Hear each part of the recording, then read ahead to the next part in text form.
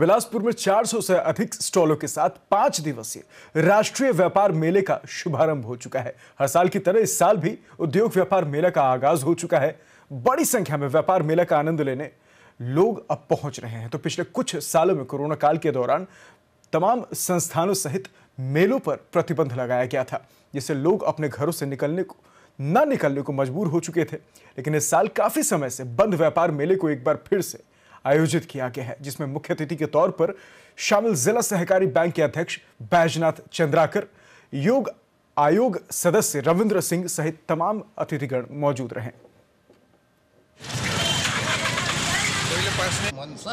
छत्तीसगढ़ को आगे बढ़ाने की और पिछले चार साल में भूपेश बघेल जी ने आज छत्तीसगढ़ के सम्मान को केवल यहाँ नहीं, बल्कि पूरे भारतवर्ष में आज छत्तीसगढ़ का नाम चल रहा है।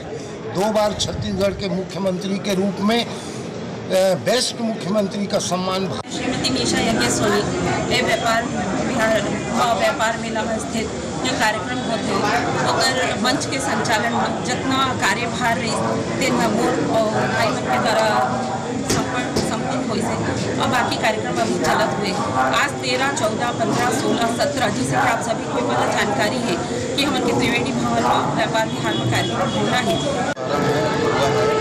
माननीय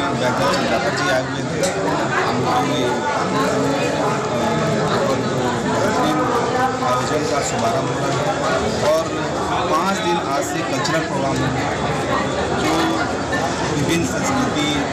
और स्कूल के बच्चे और अलग अलग अलग अलग संस्थाओं से कार्यक्रम हुआ और स्टॉल पूरी जगह सज चुकी है।